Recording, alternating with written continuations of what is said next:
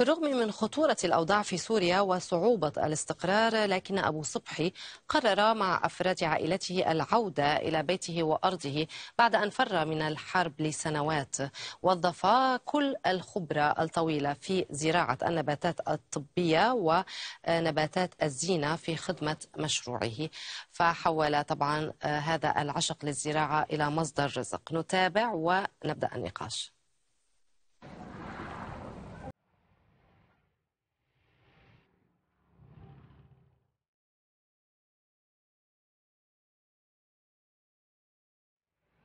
أنا فيصل موسى أبو صبحي المعروف. صاحب مشتل الصباح. كان عندي مشتل عند المطار 15 سنة. وجيت لهون بعت الأرض هنيك واشتريت هون وكمان قيمت المشتل وظبطت مشتل ضليت 10 سنين.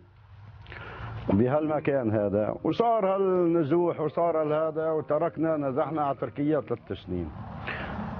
ورجعت الحمد لله ورجعت قيمت المشتل وقبال طلعت يعني عم بشتغل هنيك بلد ما هي بلدي.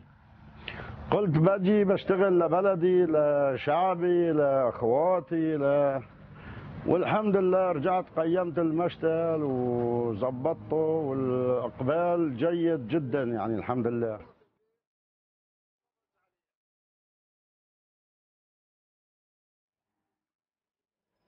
والله كمنظر وطبي يعني هلا بالنسبة لهون شتله المليسه يعني هي هي طبية هي كمنظر كرائحة يعني أكليل الجبل كذلك كمان طبي أكليل الجبل. وفي عندنا الورق الغار الغار الأصلي مو غار الزينة تبع الحدائق غار شتلة الغار الأصلي. هذا الورق بحطوه على الفروج مشان زناخة مشان هذا كمان هاي شتلة كمان كويسة وجيدة وهون ماشي عنا يعني.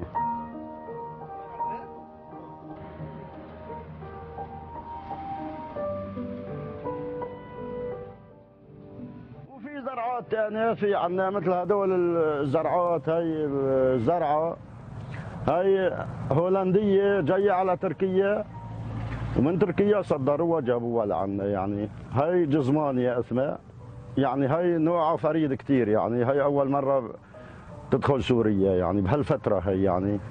هاي شتله الاريكاريا كمان هي كمان هولندية كلها شغل من برا يعني هذا بيجينا هاي الجنب هاي الشوفنيرا يعني هلا ندرنا هون نزرعها ونكاسرها يعني على إيدنا و ومشي حولها والمشتل بده نظر بده مثلا متابعة بده هالحكي هذا يعني.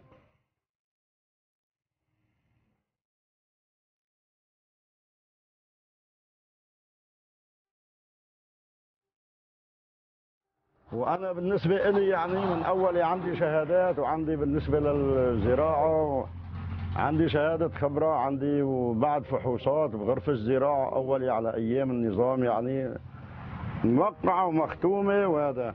وكنت عضو بغرفة زراعة حلب بالدرجة الأولى.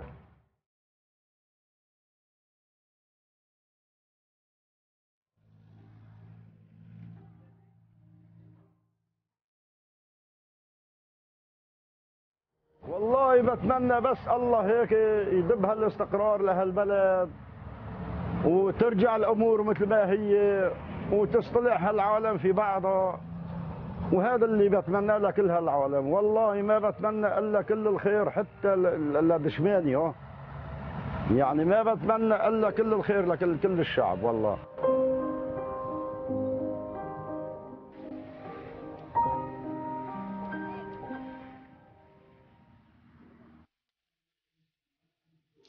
وينضم إلينا من ريف حلب الشمالي أبو صبحي أو السيد فيصل. مساء الخير وأهلا أهلا وسهلا بك أستاذ أبو صبحي.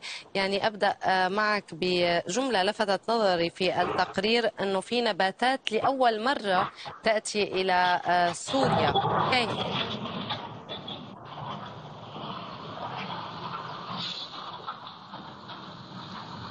نعم سيد أبو صبحي هل تسمعني؟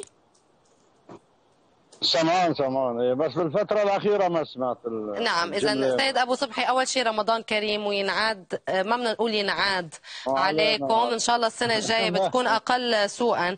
آه، ذكرت بالتقرير إنه في نباتات للمرة الأولى تأتي إلى سوريا. كيف ومن أين؟ والله بجيبوا من هولندا هذول النباتات بيجوا على تركيا بيستوردوهم ومن تركيا السنة يعني هي أول سنة يعني جانا كثير من تركيا يعني نباتات كثير يعني من تركيا. في تجار عم يستوردوا بجيبوا تركيا بتجيب من هولندا وصلوا لعنا يعني بهالعملية. وإن شاء الله نحن بركي بنحاول بنكاسر من عنا يعني حسب خبرتنا يعني. لكن إن شاء الله بنحسن بنكاسر منهم يعني نعم سيد أبو صبحي ذكرت المليسة وبعض طبعا الأعشاب اللي تستخدم آه،. كمشروبات ساخنة هل التربة السورية اليوم صالحة للزراعة آه، إذا بتحكي لنا أكثر لأنه في انطباع عام إنه لم تعد صالحة بسبب مخلفات آه. طبعا القنابل وبسبب الجفاف والتغير المناخي والوضع الأمني لا لا صا- صالحة صالحة. نحن التربة السورية نخلط معها خلطة يعني مو بس آه، على التربة نخلط خلطة بنحط لها أسمدة بنحط آه، سواد بلدي بنحط أوراق بقايا أوراق الشجر يعني بنخمرها. وبتصير صالحة وبنزرع فيها والمليسة غرسة يعني بالعكس زراعتها سهلة يعني وهون عنا متأقلمة مع الجو يعني. نعم. المليسة على أكليل الجبل على الورد الجوري شغلات هي كلها عنا تشتغل عنا يعني. نعم. آه، حضرتك آه، أبو صبحي اختبرت الخروج من سوريا كما ملايين السوريين لكنك من القلائل ربما الذين قرروا العودة آه، إلى بيتهم وإلى مهنتهم وعملهم. شو اللي خلاك ترجع إلى منطقتك؟ والله نزعت أنا بال 2012 يعني نص ال 12 نص ال 2012 ضليت ثلاث سنين بتركيا أنا وعائلتي نعم. واشتغلت هنيك رحت اشتغلت مهنتي طبعا. اشتغلت بمشتل مشتل مهجور معدوم. واشتغلت يعني والله سويت له مشتل دار هو ومرته يجوا يبركوا يشتهوا يبركوا فيه يعني. وقت شاف هيك يحكي بالتركي يقول لها لمرته ايديه خير يعني. شوفي الله يقول لها ما شاء الله ما شاء الله سوري شوفي شلون سوى المشتل. قال لها 18 سنة هذا عنده واحد تركي عديم على الخالص يعني. قال شوفي ما شاء الله شلون صار ومع ذلك يعني طلعت أشتغل أشتغل والله يا دوب يعني عايشين. يعني مصروف اللي نشتغل فيه بنصرفه هنيك. طلعت قررت قلت لها لعائلتي يا مرة ضبي الأولاد لنرجع بلدنا إيش ما بنشتغل بنعيش. عايشين هنيك وهون عايشين. وال يعني هون الحمد لله عنا ما ما ضل شيء يعني. والله عايشين واشتغلنا واستفدنا. والله واقبال ممتاز يعني مو جيد ممتاز.